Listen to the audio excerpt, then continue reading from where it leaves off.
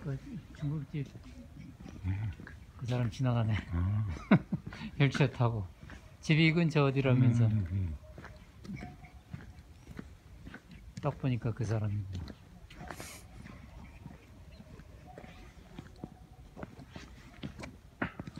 요즘 안 보인다 했더니 음.